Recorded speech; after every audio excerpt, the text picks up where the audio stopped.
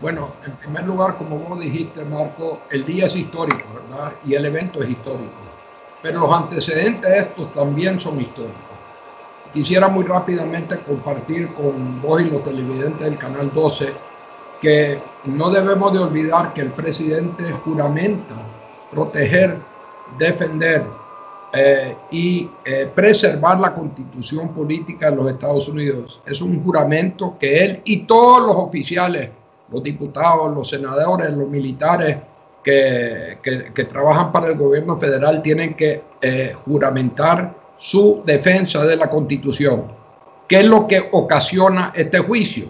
Los eventos del 6 de enero de este año, que estoy seguro que vos y los televidentes del Canal 12 lo, vieron me refiero al asalto que hubo por parte de incondicionales de Trump eh, del Capitolio de los Estados Unidos.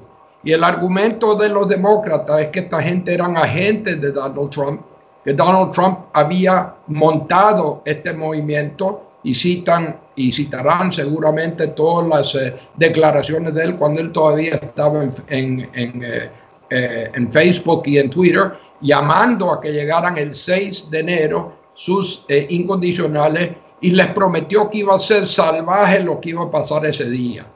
Y el mismo día 6 de enero él tuvo un mitin con esta gente en la Casa Blanca, él adentro y ellos afuera, y los instigó a que fueran al Capitolio para impedir, y esto es bien importante, la certificación de la victoria de, de, Biden por parte de, de la Cámara de Representantes y del Senado de eh, eh, la victoria de Biden y de la derrota de Trump, porque Trump siempre alegaba que le habían robado las elecciones.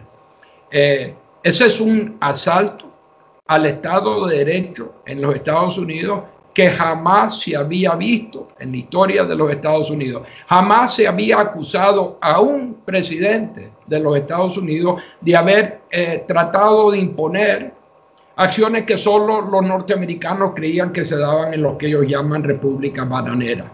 Entonces, ahora inicia el proceso de indictment o de impugnación. Trump eh, y sus abogados van a decir que él ya no puede ser destituido porque ya no es eh, eh, presidente, ya su periodo terminó, culminó el 20 de enero. Pero la verdad es que la impugnación se dio antes del 20. Y hay muchos precedentes en la ley o en el derecho anglosajón que permiten la impugnación aun cuando una persona ha abandonado el cargo. Yo personalmente creo que no va a ser condenado por el Senado eh, Donald Trump. Requieren, requeriría su, su, su condena 67 de los 100 votos. Tenemos, tenemos claro que los demócratas tienen 50 votos. Entonces ellos necesitarían 17 votos republicanos.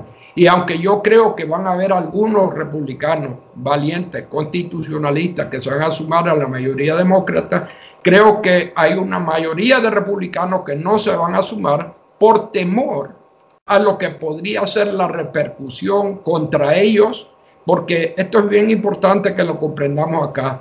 Donald Trump tiene un control total y absoluto del Partido Republicano. Y todo aquel senador que vote en su contra eh, va a encontrar o va a tener dificultades con la base republicana en el estado que ellos representan. Es decir, Trump es el caudillo, para ponerlo en, bien, en buen nicaragüense, de un partido que ya dejó atrás a sus principios y a su institucionalidad y que está totalmente en el bolsillo de Trump. Doctor, en caso de que el presidente Trump, tal y como usted lo indica, no pudiera ser condenado, ¿quién pierde? ¿La democracia estadounidense? ¿La institucionalidad? Eh, ¿O quién? Porque hay víctimas en todo esto. Todos. Es decir, acordémonos, eh, hoy van a, digo, en, la, en, en el caso de los demócratas, ellos lo que van a llevar es el testimonio eh, y la película de lo que ocurrió ese 6 de enero, comenzando con el discurso de Trump en la Casa Blanca y culminando en el asalto y la toma del Senado y de la Cámara de Representantes. Eh, un asalto que resultó en por lo menos cinco muertos hasta, la hasta el momento contabilizado, ¿verdad? Ahora, eh, yo no creo que va a ser condenado Trump por razones estrictamente políticas, porque en el fondo este es un juicio político Pero ¿quién pierde? Yo diría que la Unión Norteamericana y su democracia, ¿verdad? Porque eh, bajo este escenario que estamos barajando en este momento, quedaría impune el máximo oficial del gobierno norteamericano, del máximo asalto a la democracia norteamericana. ¿Y qué quiere decir esto, Marco? Que en las elecciones próximas, eh, presidenciales, eh, que van a ser en el año, en cuatro años, Trump se podría postular otra vez como el candidato del Partido Republicano y como ese partido está en su bolsillo, eh, es probable que él podría salir como el candidato. Ahora, eso no quiere decir que él va a ser reelecto, porque él tiene ahorita, en, según las encuestas, para lo que eso valgan, muy poca aceptación en los Estados Unidos fuera de su base. Pero eh, lo que los demócratas pretenden es sacarlo del juego permanentemente como una suerte de castigo para lo que él hizo al instigar este asalto al Capitolio norteamericano. ¿Hay pruebas suficientes como para dudar o que duden los senadores republicanos condenar a, Trump? Lo interesante es que los, republicanos van a alegar que, hay, que, no hay, eh, precedentes para esto porque ya Trump está fuera del poder. Pero no solo hay suficientes pruebas, hay 100 senadores que fueron testigos de lo que pasó ese día en el Capitolio. 100 senadores que tuvieron que salir huyendo de la Cámara del Senado por temor a que fueran ellos asaltados, capturados e incluso linchados por esta turba.